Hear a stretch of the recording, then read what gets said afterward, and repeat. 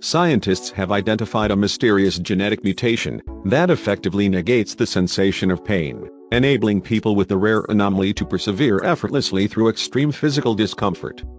The gene variant, identified in an Italian family who feels almost no pain even when seriously injured, could help scientists find new treatments for chronic pain that mimic the family's unusual gift. We have spent several years trying to identify the gene that is the cause of this, molecular biologist James Cox, from University College London, told The Independent. This particular disorder may only be in one family. That family, the Marsilis, go about their daily lives with something much like a real-life superpower, thanks to a rare genetic point mutation spanning at least three generations. The mutation means they feel little or no pain from things like burns or broken bones, to the point where they don't always actually realize when they've been hurt. Sometimes they feel pain in the initial break but it goes away very quickly, Cox told New Scientist. For example, 52-year-old Letizia broke her shoulder while skiing, but then kept skiing for the rest of the day and drove home. She didn't get it checked out until the next day. The variant shared by the family was isolated in the Marsilis DNA from blood samples, and is located in a gene called ZFHX2. While it's not entirely clear how the mutation works, the team hypothesizes that the variant disrupts how ZFHX2 regulates other genes that have been linked to pain signaling. That disruption gives the Marsilis what's known as congenital insensitivity to pain, but their phenotype is so remarkable the researchers have named a whole subtype of the condition, Marsili syndrome, after the family.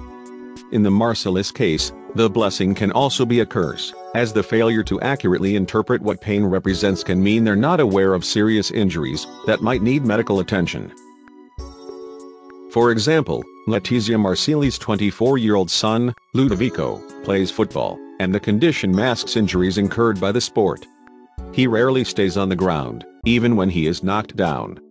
However, he has fragility at the ankles and he often suffers distortions, which are microfractures, Letizia Marsili told the BBC.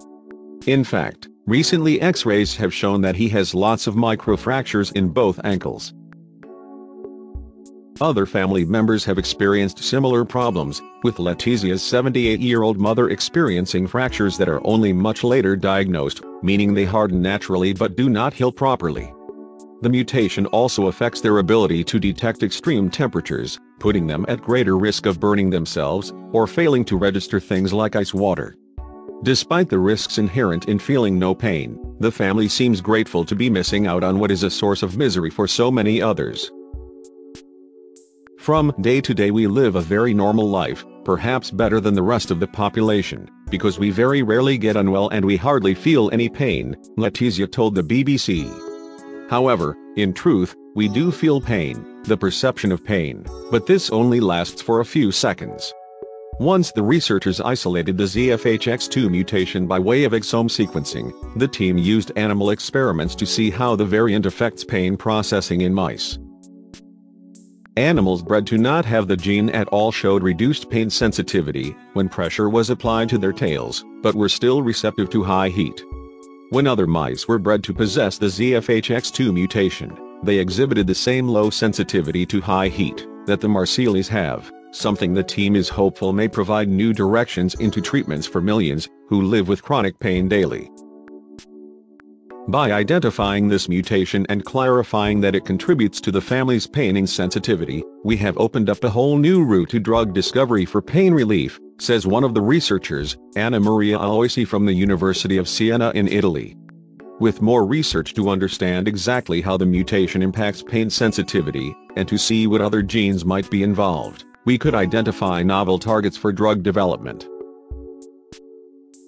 There's a lot to still find out about how ZFHX2 is involved in pain signaling, but as far as one family is concerned at least, they won't not hanging by the phone to hear about any future discoveries. One of the researchers, sensory neurobiologist John Wood from University College London, says the family has no intention of ever giving up their painless existence, should scientists one day figure out a way of reversing the condition. I asked them if they would like to normally sense pain, he told New Scientist and they said no. The findings are reported in Brain.